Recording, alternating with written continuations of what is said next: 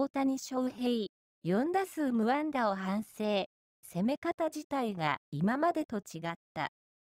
走者いる場面で凡退。繋いだらワンチャンスあったんじゃないかなと思う。エンゼルスの大谷翔平投手は、19日、日本時間20日の本拠地レッドソックス戦に、初めて6番 DH でスタメン出場したが、4打数無安打3三振に終わった。エンゼルスも2の8で敗れ、3連敗。試合後、大谷は後期で凡退したことについて、なんとかフォアボールでもいいし、ヒットじゃなくてもいいから、そこで繋いだらワンチャンスあったんじゃないかなと思うと、反省を口にした。ここまで8番、7番で起用されてきた大谷は、この日、初めて6番に抜擢。しかし、その期待には応えられなかった。1点を追う？2回一死一塁の第1打席では、カウント1の1から、サワン・ロドリゲスの直球を捉えたが、遊撃手が二塁ベースの後方に位置するシフトに阻まれ、夕頃に、4回一死一塁の第2打席では、内角へのチェンジアップに空振り三振。6回一死一塁の第3打席でも、ロドリゲスのチェンジアップに対応できず、2打席連続空振り三振に終わった。さらに6点を追う9回にも打席に立ったが、救援右腕ケリーの前に空振り三振。4打数無安打3三振で打率3割2分4厘となった。試合後、大谷は前のバッターのシモンズ選手が死球も選んでいたし、いい出塁の後につなげなかった。大量得点になるチャンスだった。なんとかフォアボールでもいいし、ヒットじゃなくてもいいから、そこで繋いだらワンチャンスあったんじゃないかなと思うと反省。チェンジアップに対応できなかったことについては、特に苦手意識はないけど、攻め方自体が今までと違った。傾向もまた、自分で色々と考えながら、チェンジアップ自体も素晴らしいボールだったと思う。打席の中で考えながら行かないと難しいと感じたと語った。また、レッドソックス戦での3連敗に、僕のピッチングから始まって、こういう負け方をしている。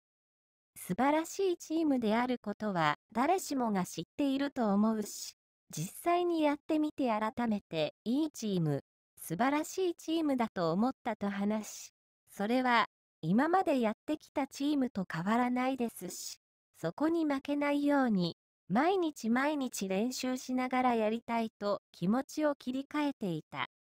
一方、右手中指にできた豆に関しては、大きな問題はなさそうで、いつも通りのブルペンの予定でいるつもり。順調に回復すれば十分いつも通り投げられると思う。バッティングと並行してしっかりケアしていつも通りやりたいと話していた。大谷翔平、無安打3三振も、指揮官、彼を信頼、21日ジャイアンツ戦も DH 起用へ。大谷3三振も、宗師や監督熱い信頼、翔平の状態に自信持っている。第1打席は、ヒット性の当たりを放つも相手のシフトに阻まれ夕頃に。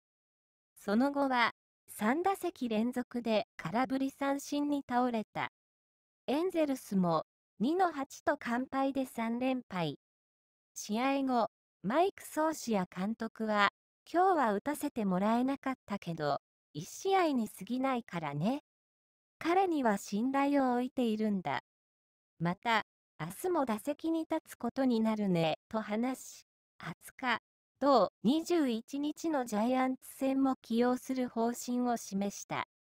大谷は1点を追う2回一死一塁の第1打席で、サワン・ロドリゲスの直球を捉えたが、遊撃手が二塁ベースの後方を守るシフトに阻まれ、夕頃に、その後は、ロドリゲスのチェンジアップに対応できず、2打席連続で空振り三振に倒れた。さらに、6点を追う9回の第4打席では、救援右腕ケリーの97マイル約156キロのツーシームで空振り三振に終わった。この日は4打数無安打3三振だった。エンゼルス打線も頻打に苦しみ、この日は4安打のみ。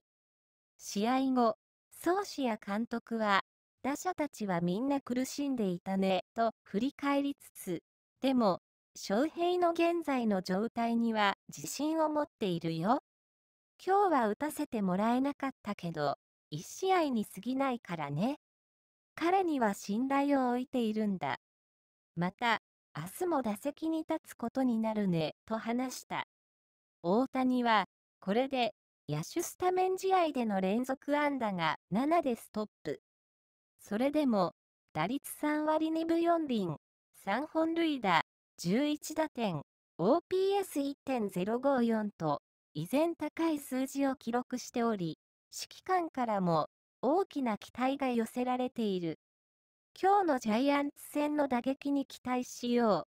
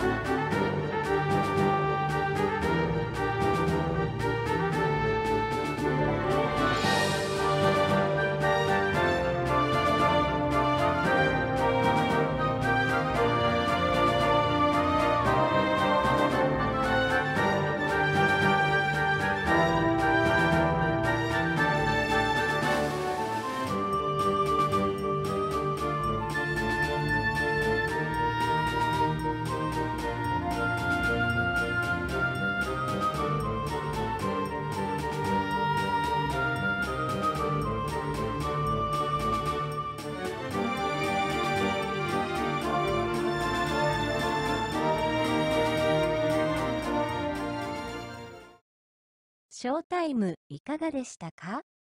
チャンネル登録お願いいたします。どんどん新しいものを紹介していきますので、ぜひまたいらしてくださいね。それではまた。